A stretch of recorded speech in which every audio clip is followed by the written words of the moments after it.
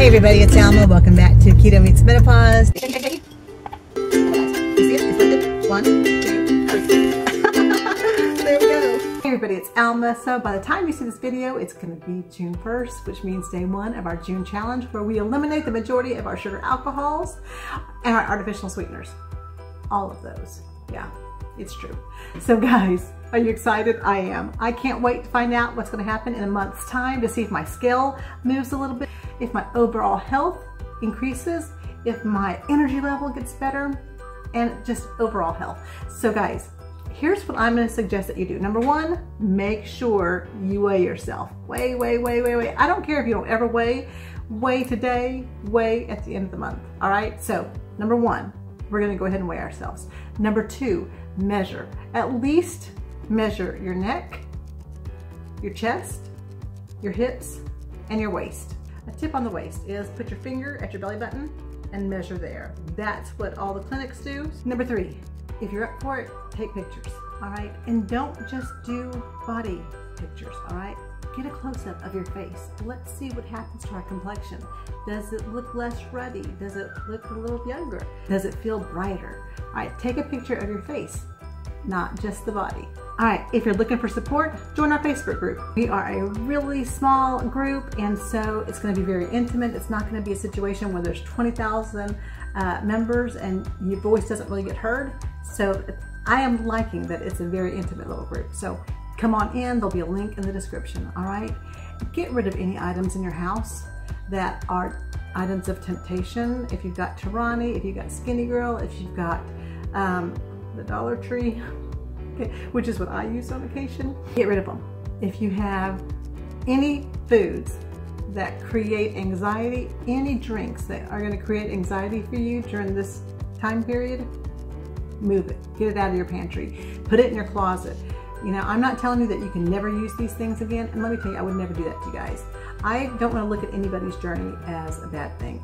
Everybody finds their way to their perfect keto. And that's where I am right now, looking to find my perfect keto.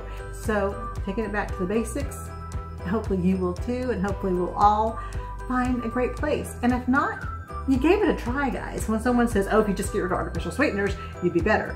Hey, if nothing gets better, you'll know that's the answer. I did share this on a video last night, but I'm already virtually three weeks without coffee. It may be, it may actually be three weeks. I lose count. Time, time escapes me these days. But I had coffee twice. I had it once at IHOP, and I ate clean there, guys. My gym? I've had it at my gym. I think the second time was at my gym. Both times, immediately upon drinking, hot flash. And that happens because it's a hot drink and also the caffeine. So if you're if you're up for it, give up your coffee, guys. If you're not gonna enjoy the coffee because it doesn't have your artificial sweetener of choice in it, because it doesn't have your Torani or your skinny syrup or whatever it is that you're using, give it up. It's summer. Who needs it in the summer? I prefer my coffee in the wintertime. So it really was not a huge issue for me to go ahead and say bye-bye for the next 30 days in, in, regards to coffee. And I really didn't get the headaches either. I was really surprised that that didn't happen. So guys, seriously, don't think that you can't do this challenge. It's just a month. Even if you have to say week one, Alma, I'm gonna give up one thing. Week two, another thing. Week three, another thing.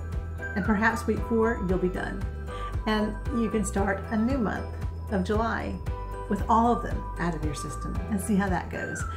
So yeah, guys, uh, join our Facebook group, get your measurements, take pictures, get a picture of your beautiful face, and uh, let's start this journey, all right? I look forward to following your journey, sharing my journey, and I uh, can't wait to see where we end on July 1st. Oh, my birthday, 52, July 1st. Anyways, that's beside the point. how will I celebrate my how will I celebrate my 52nd birthday? Maybe with some cold pee. I'm just kidding, guys. I'm just kidding. All right, guys.